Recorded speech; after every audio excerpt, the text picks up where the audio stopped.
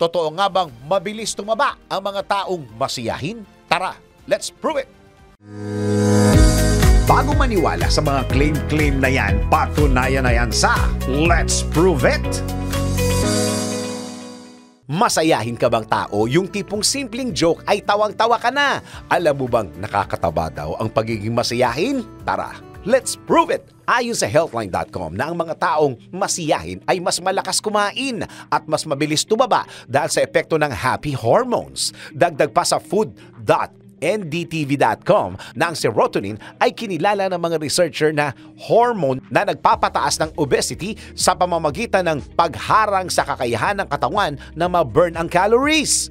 Samantala, ang dopamine naman ay nakakatulong na makapag-promote ng positive feelings kung saan kasama dito ang happiness at pleasure.